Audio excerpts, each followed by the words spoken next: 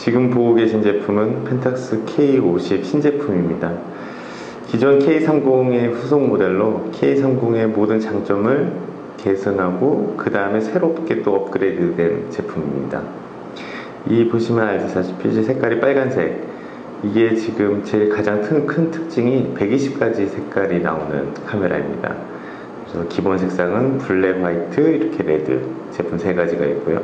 그 외에 는 이제 그립하고 바디 색깔이 다 변해서 120가지고 소비자들은 그 120가지 중에 한 가지 선택해서 나만의 카메라를 가질 수 있고 소유할 수 있는 아주 좋은 장점을 가지고 있습니다. 이 제품의 큰 특징 중에 하나가 또 ISO가 굉장히 높아진 것입니다. 기존에 12800이었지만 지금은 51200까지 확장이 돼서 사용할 수 있습니다. 그리고 여전히 펜타프리즘을 이용한 뷰파인더를 사용을 했고요. 그 다음에 방진 방습이 되는 그 아웃도어형 카메라로 외부에서 어떤 환경에서건 촬영하는데 문제 없이 좋은 이미지를 담아낼 수 있는 카메라입니다.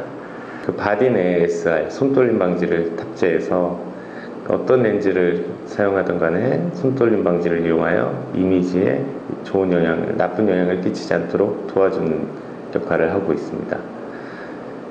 그 특징 중에 하나는 이제 그 K30 같은 경우도 색깔, 색상이 많았지만 렌즈가 일관적인 색상이었습니다. 검은색. 하지만 이제는 120가지 색상이 나오면서 렌즈 또한 이 바디 색깔과 같이 맞춰서 나오는 좋은 특징을 가지고 있어서 그 색깔 맞춤으로 인해서 아주 눈에 띄고 좋은 악세사리용으로도 사용할 수 있는 좋은 카메라입니다.